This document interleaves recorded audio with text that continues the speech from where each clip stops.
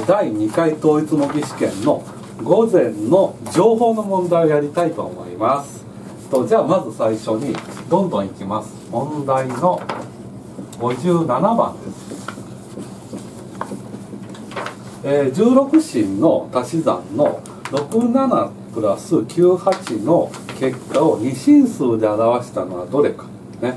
これはあのよくえーと、解説本とかでは67をまず10子に直しなさいと。10子に直しなさい。でえっ、ー、と50あ 90?98 か。98を10子に直すと 9×16 足す8にしてそれをえっ、ー、と足してあと二進数に直すっていうのはあのこれねこの問題に関して言うとめっちゃ時間がかかります。これやると。ね。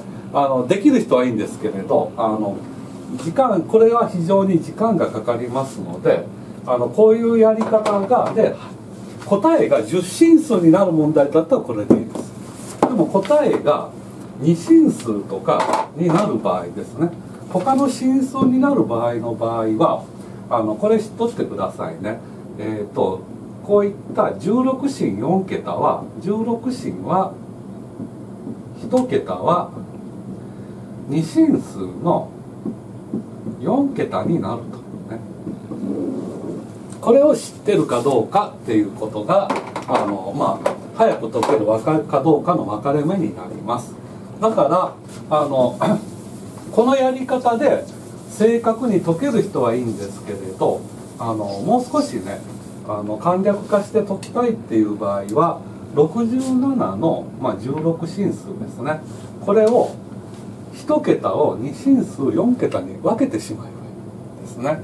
で2進数4桁に分けるって言ってもまあこれあの2で割ってってやってもいいですしえっ、と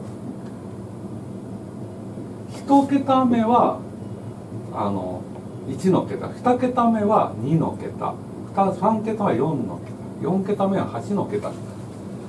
ここが1だったら8ここが1だったら4ここが1だったら2になる、まあ、これだけ知っとけばあの6っていうのはこれ4たす2ですよね。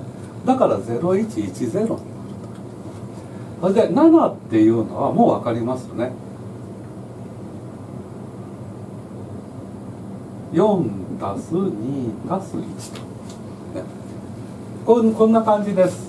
で次に今度は98っていうのはどうなるかっていうとこれは8足す0足す0足す1ですよね1248と9はそうだから1001で8の桁っていうのがここだけですね。1000、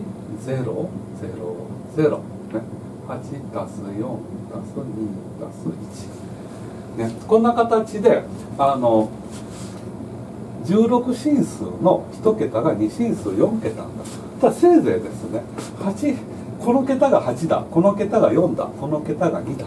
この桁が1だ。っていうのを知っとけばあのチャチャチャチャっとねあのこういった形でできるわけです。ちょっとここ大きいところね。であとはこれを足すだけですね。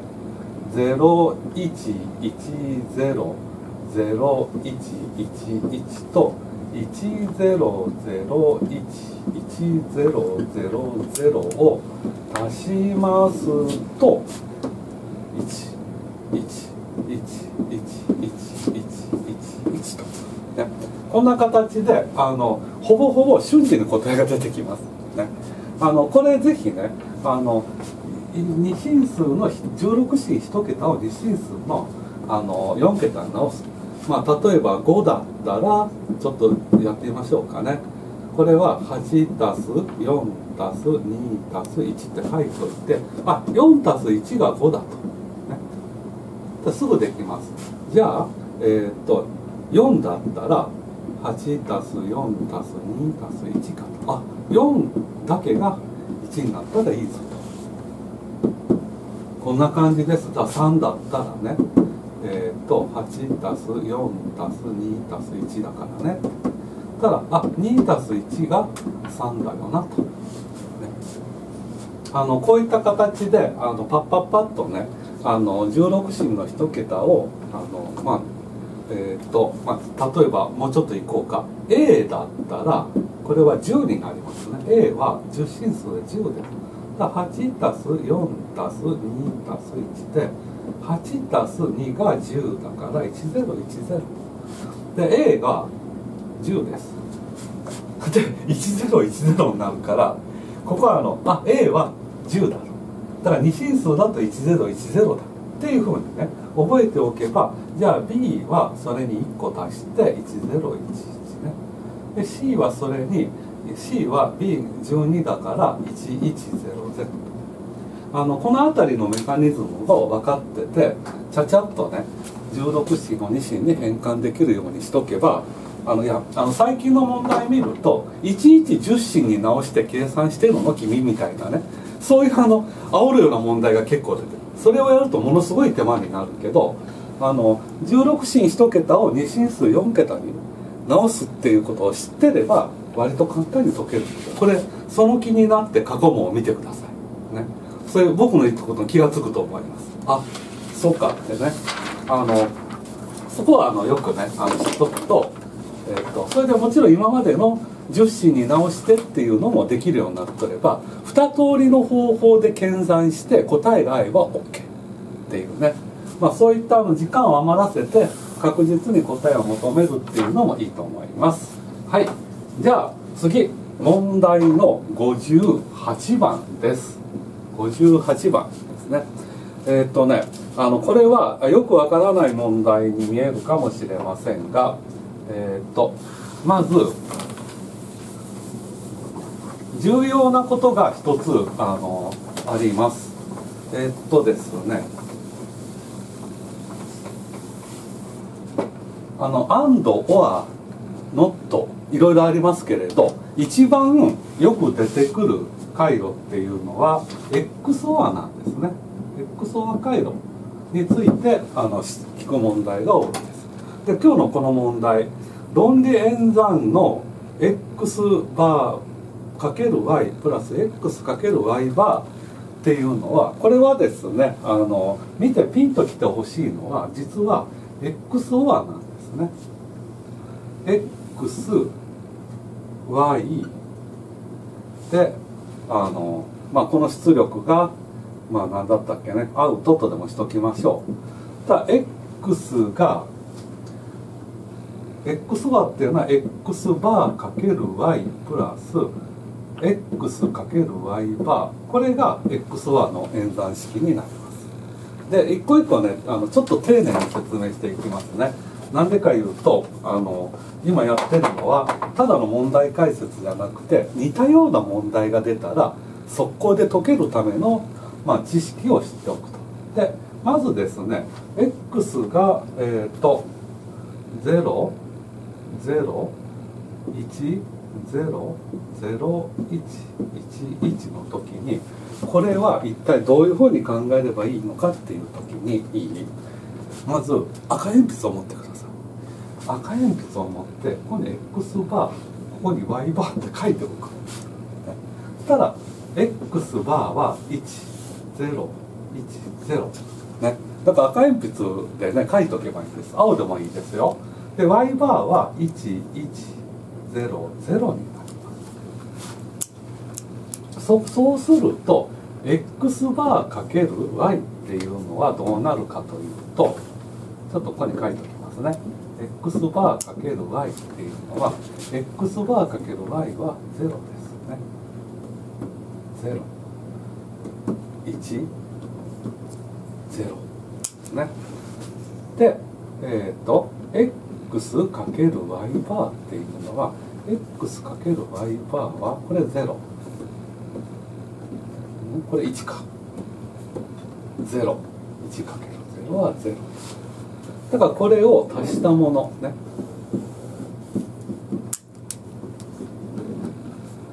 プラス x かける y バーっていうのは010になります、であのこれにまず気が付いてほしいね。あのこの形を見た時はあこれは XOR なんだと。で XOR っていうのはこれはえっ、とここですね。回路図記号で書くと X えっ、と X バーかける Y ですね。プラスえっ、と x かける y バーですね。こうなります。あこのこの回路記号とこれと同じでこれね全部ねこれはあの加算回路の一桁目になりますね。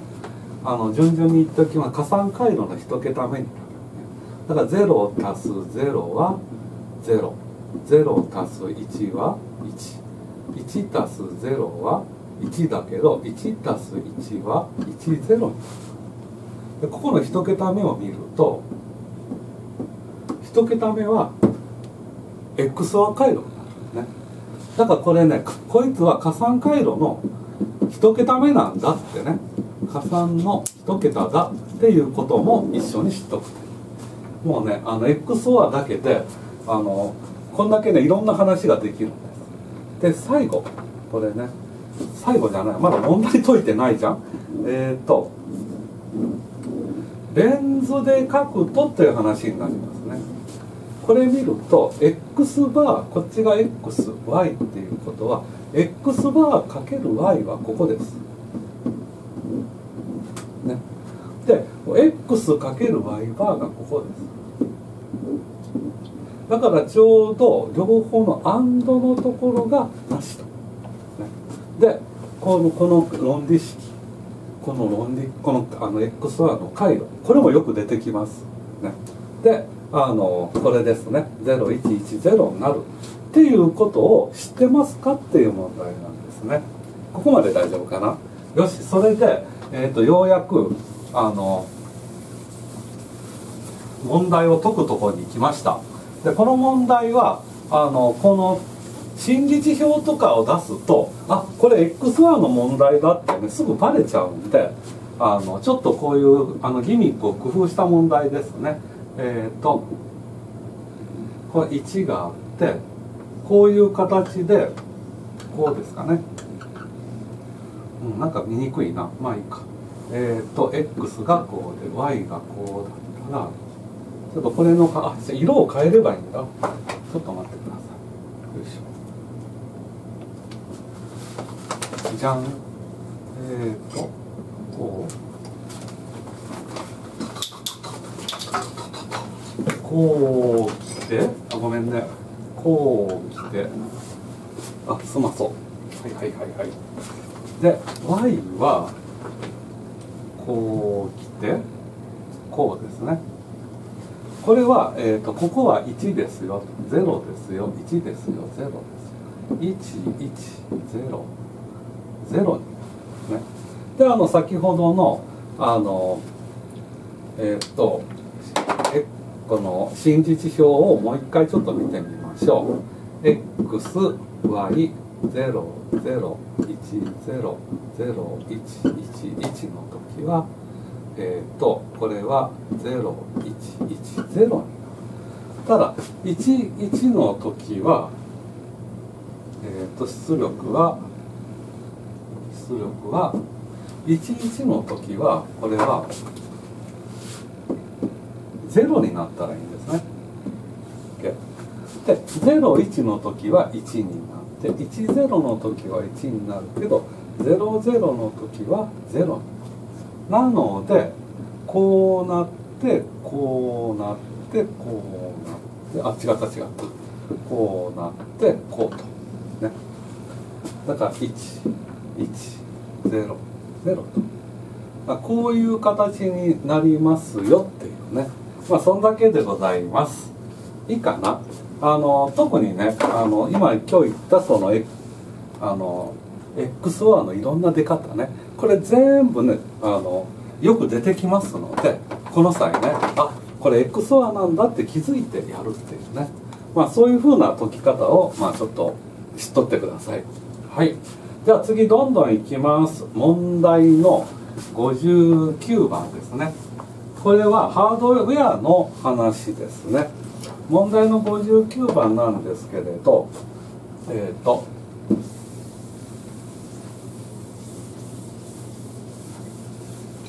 まずこれはあの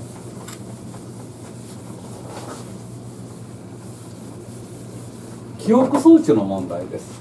あのちょっとまあこの講義でもまた一回やりました。あの記憶装置っていうのはえっ、ー、と揮発性ともう一回あの復習しますね。これはあの、えっ、ー、と前回も同じようなこと言ったのでああまた言っとるわ思ったらねあの読み飛ばしてください。不揮発性の2種類があるね。不揮発性。揮発性っていうのは電源を切ったら消えるメモリー。で不揮発性っていうのは電源を切っても残るメモリーですね。じゃあ揮発性メモリーっていうのは何がありますか？あのじゃあねラムはどっち？揮発性。そうね。ラムは揮発性です。じゃあロムは？どっち？不揮発性なんですね。ロムね。これはリードオンリーメモリーって言ってあの読むだけってであの基本的にはですねメモリーっていうのはあの電源を切ってまっさらになるやつとこの2種類あると思ってください。でラムの中に種類として S ラムと D ラムっていうのがでロム S ラムが速いラムです。速いラム。でえー、っと D ラムがあの遅い。おそんなに遅くないんですけどその代わりあの安価で大量に作れるねメモリーであるということです。そこであのロムとしてはこれはマスクロム、ね、これは本当にあの工場でもうそのまま焼き付けて作るロムです。それとあとあのピーロムっていうのがあってまあもうほとんど今こうだけどイレーザーえこれは電気的に書き換えが可能なロムです。書き換えが可能。つまり高い電圧では書き込みができる。でも低い電圧だと読むだけ、そういうのがあの、まあ、大きく分けてもっとあるんですけれど UVP ロムはどうしたとかいろいろねあの意見はあるんでしょうけどそれはね押さえてください。その話だときりなくなりますので一応まあ主にマスクロムねと EEP ロムというのがでこれは名称としてフラッシュメモリーって言いますね。って言います。フラッシュメモリーですね。いいかな。それでえー、っともう一つですね。このよく似た間違いやすいので多分混ぜて出される話がキャッシュメモリー。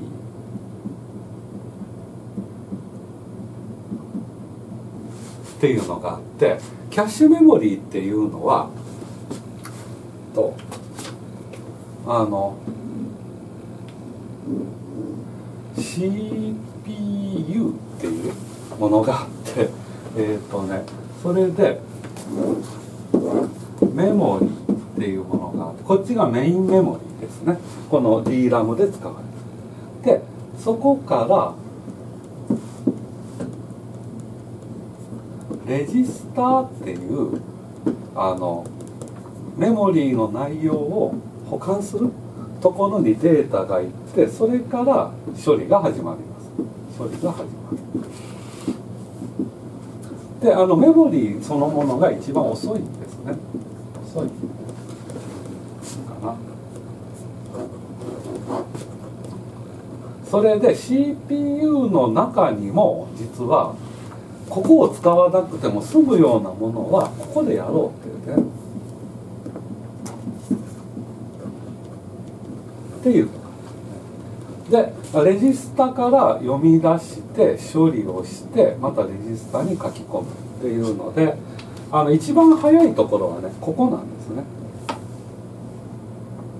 速度が要求されるところはここになります。ここが遅かったらものすごく遅くなっちゃうんでここに一番速度の速いメモリですか、まあ、レジスターっていう、まあ、特別なものが入ってます。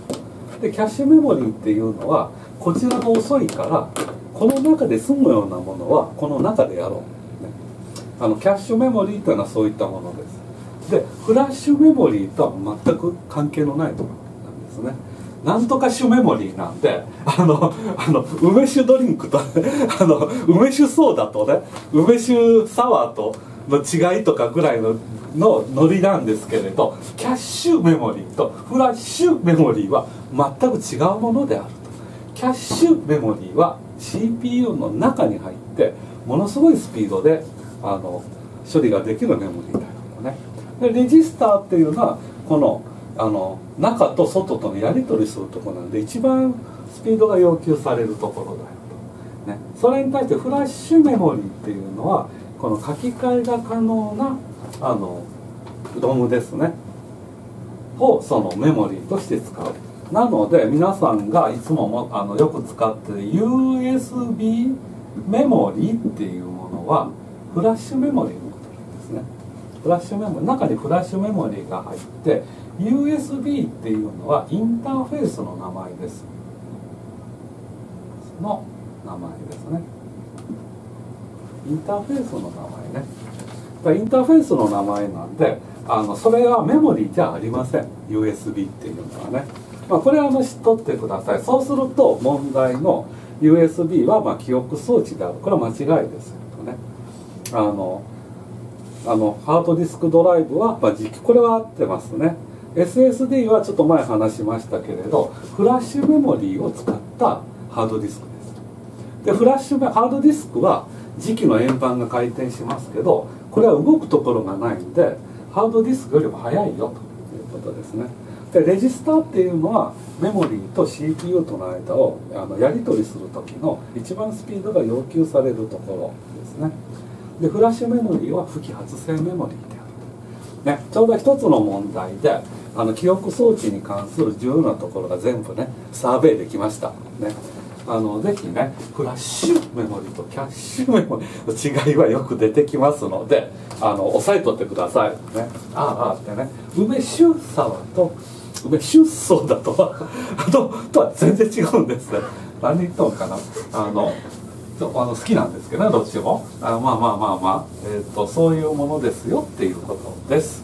はい次今度は問題の60番ですね。問題の60番コンピューターの基本ソフトウェアっていうんでないのはどれかっていうことなんですけれどあの基本ソフトウェアっていうのはっていう話からあのまあ始めてもいいんですけれどあの基本的にはですねもうものすごく単純な話をします。基本ソフトウェアですね。ウェアっていうのは基本的にですねあの一番もともとが、えーと、デバイスですね。スとかあのえっ、ー、とディスクですね。あとはねとかの、まあ、管理。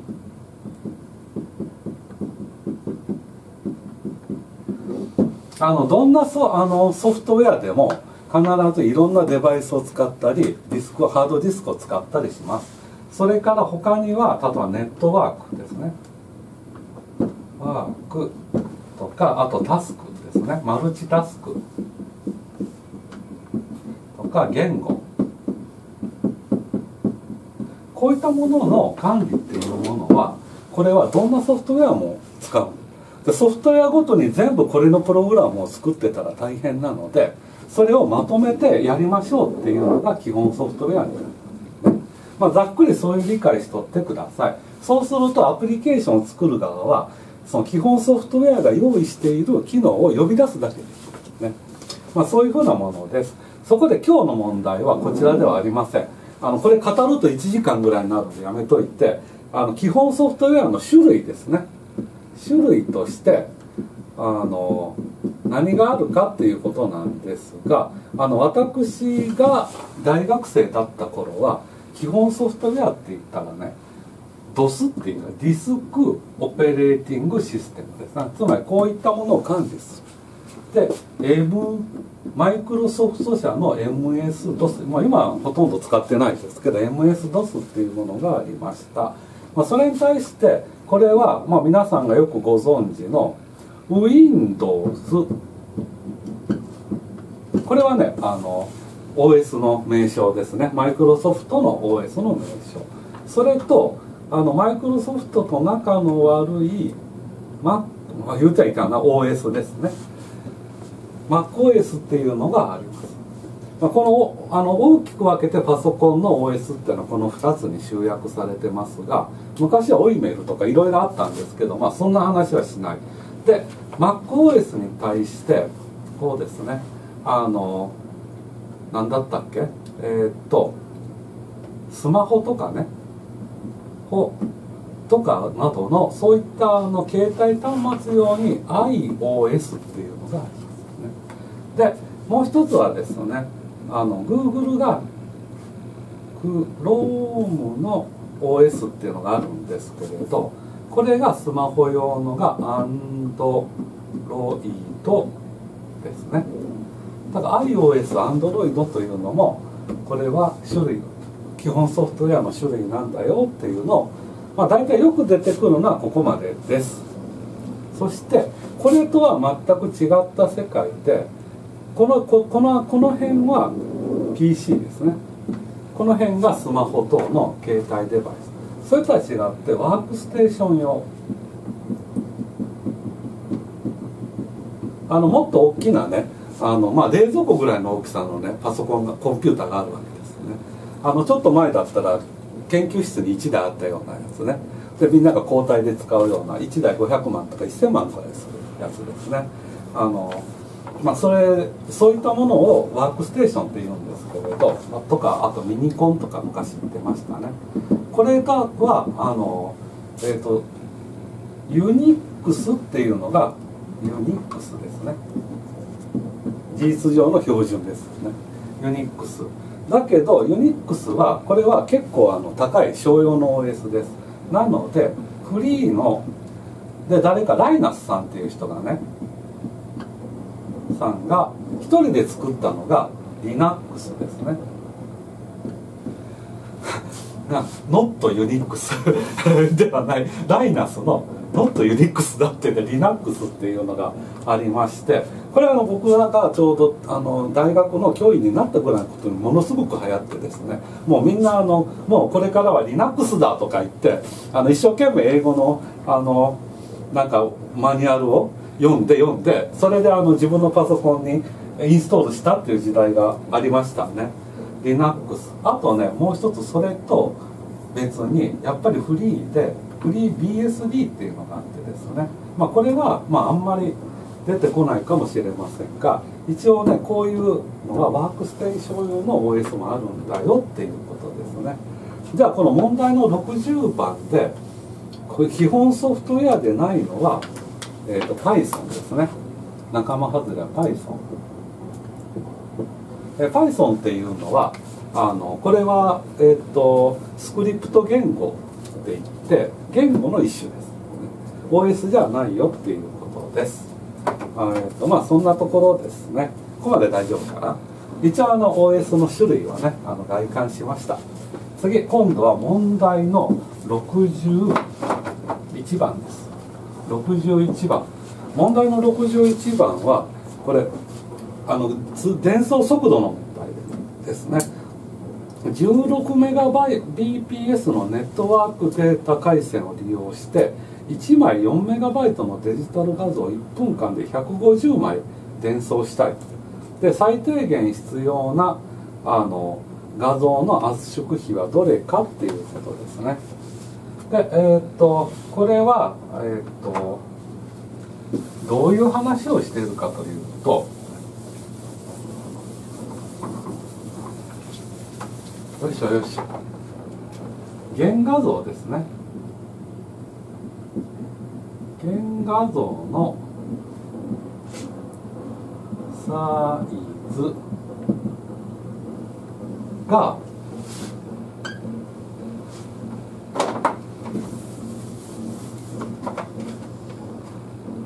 伝送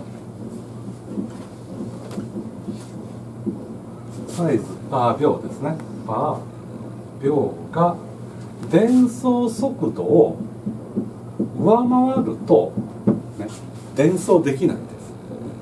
まあこうえっ、ー、とベルトコンベヤーがあります。どこどういう話をするのか。でこの速度ね1秒間に例えば1個パー秒でこう送られていくとします。ブイーンとね。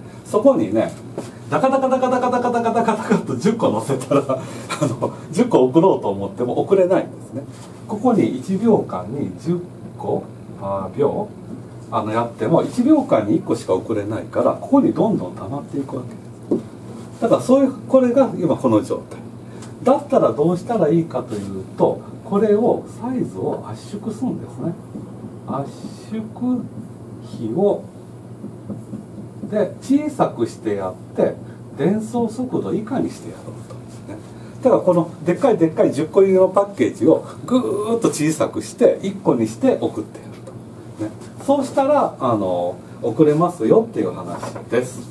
ちょっとそういうイメージを持ってくださいね。あの用語がちょっと言葉が難しいんですけれどあのこんだけこのこの一定のペースでしか送れないのに対してわーっとあったらそれを小さくして送る。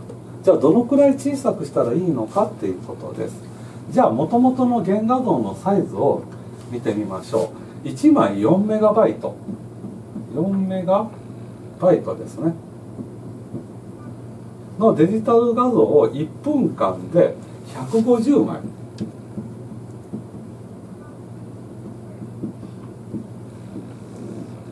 で60秒ですね。っていうことです。この原画像のサイズね。でこれよく見るとここでね一つ落とし穴があります。どういう落とし穴かというと伝送速度は BPS っていうまあ表せるんですけどこれはいい。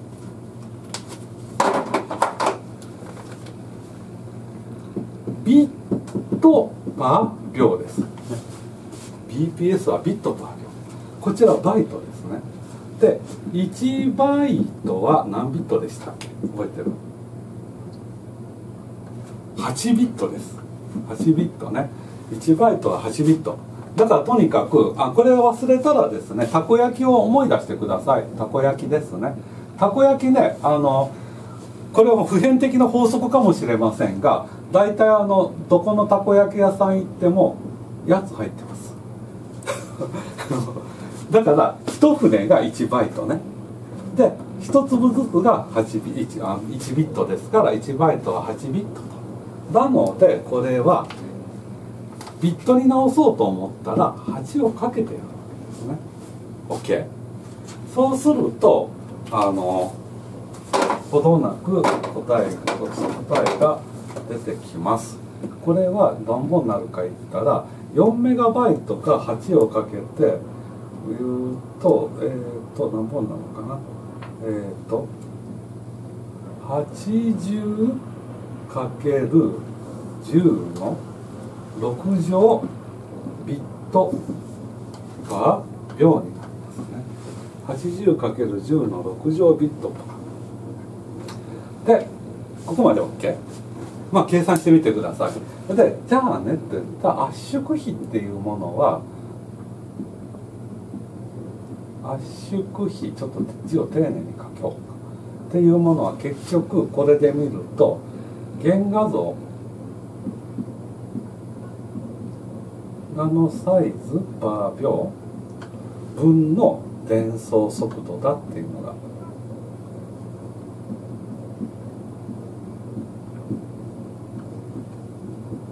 ていうのが分かりますね。なんか原画のサイズが80メガ？BPS メガは10の6乗ですね。で伝送速度が16メガ？BPS なのでこれは5対1になります、ね、5分の1だからこれでおさらいしますとまず一番の引っ掛けはあのバイトとビットの関係ね。伝送速度はビットパー秒だ。だからサイズがバイトで表した場合はこの伝送速度を考える時には8をかけてビットに直してください、これがまず第一、それであの原画のサイズに圧縮比をかけたものが伝送速度。が伝送速度よりも小さくなればいいわけですから圧縮比っていうのは原画のサイズパー秒の伝送速度になります。ここでねあのこの問題では聞かれてないですけれど、えーと、圧縮率という言い方がありますね。率ね。何倍に圧縮するかっていったらこの5分の1にすることは圧縮率が5倍になります。まあそれもあの一つ押さえておいてください。いいでしょうかね。あのとりあえずこの8ビットをかけ忘れるっていうのは実は僕もよくやりますのであのこの前のあの歩行でも「はあ」って答えが違うとかって焦ってよく見ると8かけてなかったいうね。まあそういうことがあります。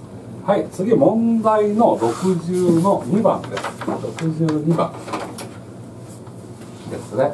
問題の62番はこれあの情報セキュリティの3要素はあのどれかっていうことですね。情報セキュリティの3要素なんですけれどこれはえっ、ー、と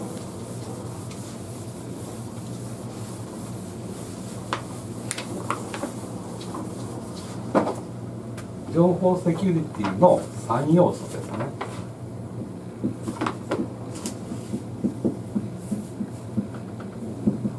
3要素というのはもうあのこれはもう覚えてくださいね。あのそもそも何かって言ったら3つを全部完璧にできないからどれを重視しますかっていうそういうあのセキュリティポリシーを策定する上での話です。機密性ですね。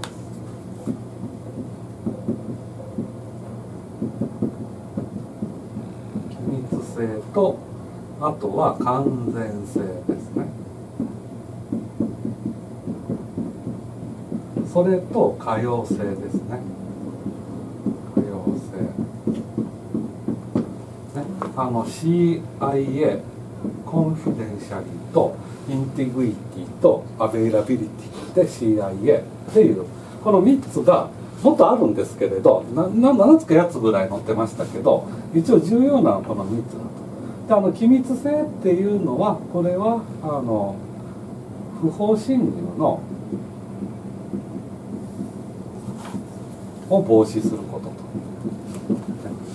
不法侵入を防止するあの、まあ、盗聴とかそういったそれ完全性っていうのは改ざんの防止です防止で可用性っていうのはこれはあの対障害、まあ、障害の防止ですいろいろなあのものが壊れたりあのなんかいろんなトラブル障害の、えーとまあ、対策とか防止対策ですねまあ、こういった、まあ、ざっくり言うとこの3つで実はね全部を同時にあの、ま、満足させるのは難しいよっていうことですね。あの例えばこういうことで障害の対策とかあのだとしたらあの必ずすぐにアクセスできるあともう少しあのすぐにアクセスですね。まあ、そういったことがあのできるようにしようと思ったら例えば機密性をあまり大きくしていくと大変なんですね。あのアクセスできないなかなかあの例えば防災情報を見ようと思うのにパスワードいっぱい入れないといけないですいろんな認証をかまさないと見れないって言ったらそれは役に立ちませんねで例えば改ざんの防止をあまり完璧にやると書き込んでいた情報が間違っていた。それを直せないんですね。書いた本人で直して直せないとかになるとダメなんですけれどあのまあ不法侵入の防止としては例えばファイアウォールとかね。などがあってで改ざんの防止としてはこれはあのえっ、ー、と電子署名とかね、まあ、その人があの必ず認証ですね。ああとファイアウォールと暗号化もそうですね。暗号化。で障害の対策としては例えばレイト。など。あのフォールトトレランス技術。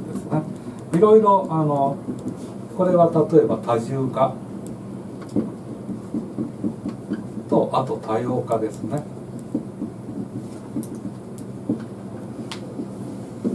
あの2種類以上の方法であのバックアウトを取ってまたはその同じものをいくつも用意してだどれか壊れても大丈夫だよということですね。まあそういったこの3つの要素があってこの3つはそれぞれあの何を重視するかで変わってくる。あの例えば電子商取引だと例えばその書いてる情報そのものに価値があるそれを勝手に書き換えたら価値がなくなっちゃうね。だから改ざん防止。で機密性っていうのは例えば個人情報を扱うまたはあの人に知られてもらいたくないような企業の情報とかありますね。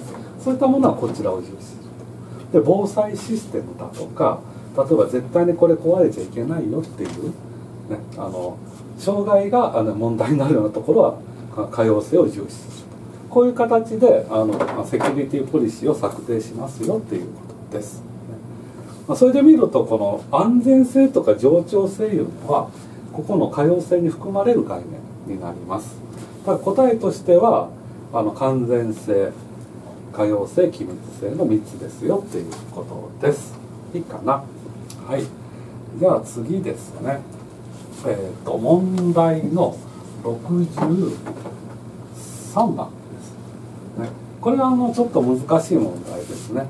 あの関数の y イコールこれこれを逆ラプラス変換した結果はどれかっていうことなんですけれど、うんと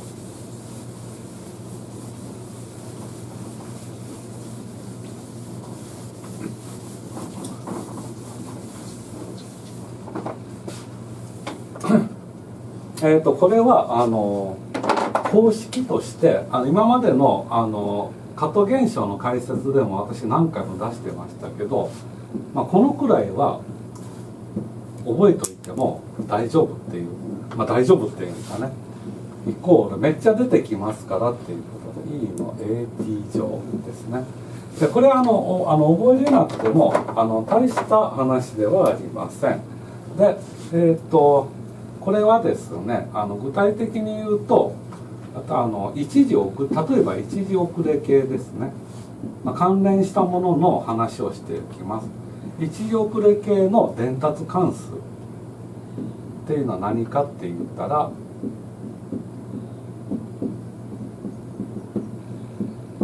あのこれシステム工学のところでよく出てくる1プラス ts 分の k でしたよね。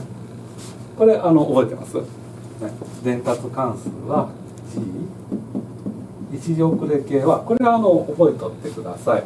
これ具体的にどうなるかというとえっ、とあの2つ知っといてほしいことがあってこれはどうなるかというとあの一時遅れ系の伝達関数ですよっていうことなんですがこれはそのそのまま書き直すと S プラス t 分の1分の、えっーと、ここ t で割るから、えっーと、t 分の1分のこれは t 分の k になりますよね。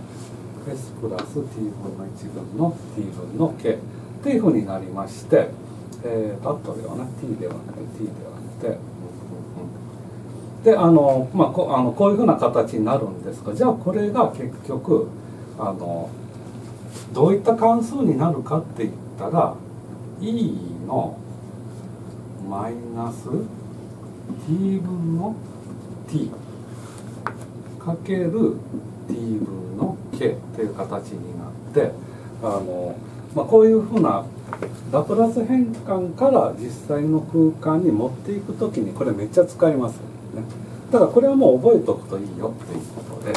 でこの S プラス。ここが CR 分の1分の1ですよね。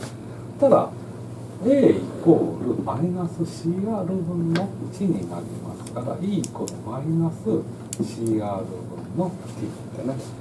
まあこういうふうになるわけです。いいかな。うんと。でそこの頭に E がついてますね。E がついてます。E がついてます。E がついてますからここに E がついてますからあの E かける E のマイナス C の T 乗ね。あのこれこの形はめっちゃ使いますからあの、まあ、知っといてねっていうことだと、まあ、理解しておきましょう。まあそんなところです。では午前の問題はここまでです。